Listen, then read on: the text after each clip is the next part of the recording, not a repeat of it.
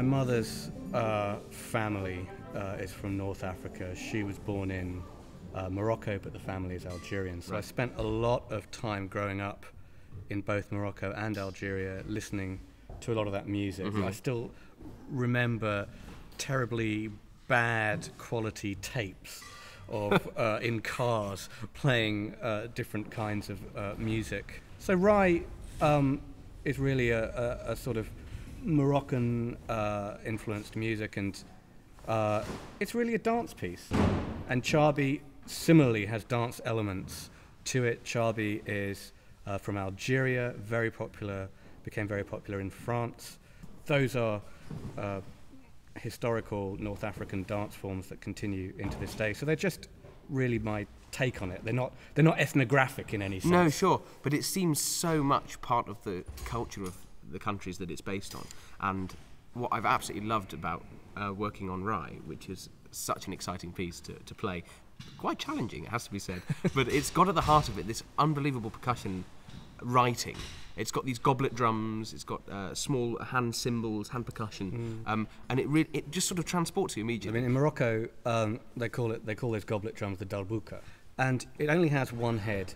But if you watch an expert um, player of that instrument, they can create myriad sounds by dampening the head, Yeah. um, moving their hands uh, away from the center and, and back again. I really try and that's something that you actually specify quite extensively in the score. Yeah, Um, and yeah. Try, trying to get to grips with the score, learning it. It's actually quite interesting to, to, to read through that and work out how that's to be played because you seem to demand quite an extensive uh, palette of colours from those drums. there is a range of sounds that you can get from it, much in the same way that that, that, that you have pitches on a harp, Yeah, let's say, and yeah. then the different types of, of note. And similarly, the zills, the hand cymbals, Yeah.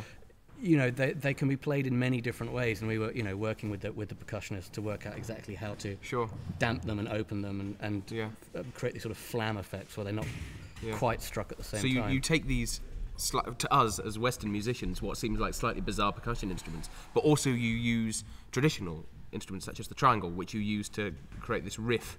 It's kind of in a duple meter, but against the seven of the music, it actually lines up in a kind of phasing sort of way.